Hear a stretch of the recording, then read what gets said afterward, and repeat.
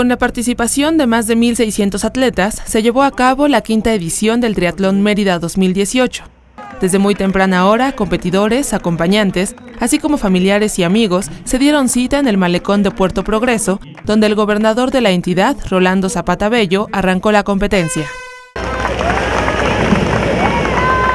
Los participantes realizaron el recorrido desde el malecón del municipio costero y hasta la meta en el remate, ubicado en el emblemático Paseo de Montejo de esta ciudad. Esta quinta edición del Triatlón Mérida 2018 contó con la participación de aproximadamente 1.650 atletas de 29 entidades del país y otros países como España. Los campeones fueron Cecilia Ramírez de Oaxaca en la rama femenil y Cristiano Grajales de Veracruz en la rama varonil. El triatlón de Mérida, Yucatán, es el primero del circuito anual en el país, por lo que se considera que el impacto es a nivel nacional, ya que es clasificatorio para el Mundial de Gold Coast, Australia 2018.